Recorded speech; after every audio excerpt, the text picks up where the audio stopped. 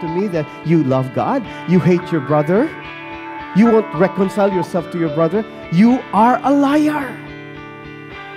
Your vertical love to God, I mean, it should be the horizontal love for your fellow men.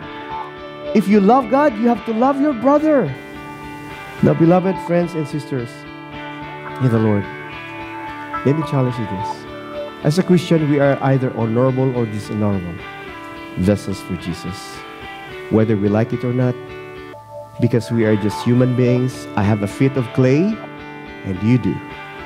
Even you are in the leadership or you're just an ordinary member, we are still a vessel to honor and a vessel to dishonor.